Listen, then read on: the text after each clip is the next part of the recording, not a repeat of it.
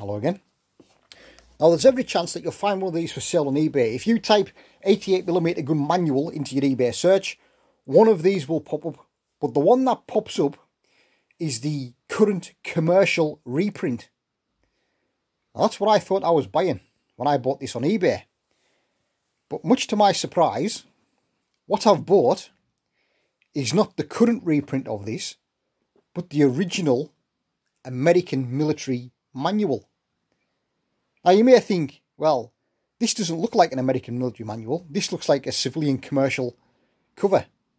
You know, technical manual, blah, blah, blah, Washington, 29th of June, 1943. And on the back, there's an image of the flak badge. So you think, well, this is just a, a commercial copy.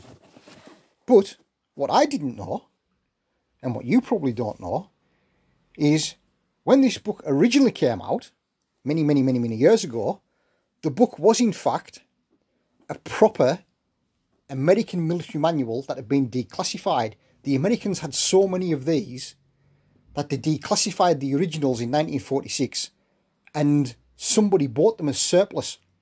And in order to sell them to the American public, big gun culture in America, they actually manufactured a civilian type cover, a paper cover, and put it over the original World War II American manual. Watch this. Civilian paper cover, 1960s, to sell the book. However, you take the paper cover off, and it's the original wartime American manual. Not a reprint. You know. This gum non decal states classification cancelled in accordance with blah blah blah 1946.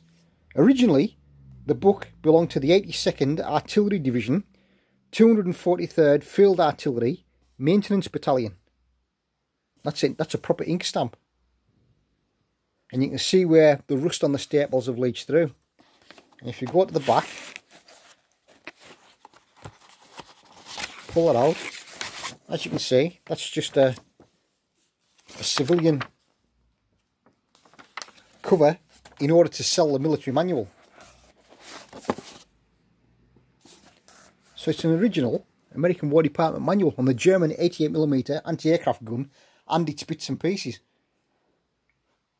So originally, in 1943, some of the Americans captured an 88mm gun, brought it to America, stripped it down, had a poke about with it, seeing how it worked, seeing how all the bits and pieces with it worked, and then issued a manual out on how to use it, on how to maintain it. So it's quite an interesting thing. Like I say, if you buy this now on eBay, what you're buying now is the commercial reprint, not the original manual. So everything is covered.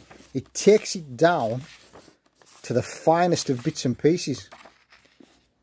I mean, for example, it's got the number of turns of hand wheel to elevate from 0 to 85 degrees 42.5 turns. Number of turns of hand wheel to traverse 360 degrees, 100 turns. And it's even, it's even got the effort required to elevate the hand wheel.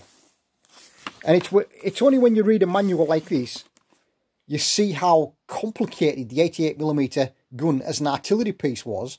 But not only that, you can appreciate how complicated the carriage was for the gun as well. In the way they had to lower the gun to get it off its wheeled carriage, to stake it out. And it was a really complicated piece of machinery that needed highly maintenance done to it in order to keep it working. So you have it on its wheeled bogies and displayed for use. Then you have all the elements of the carriage. It's got levelling jacks on it. The outriggers.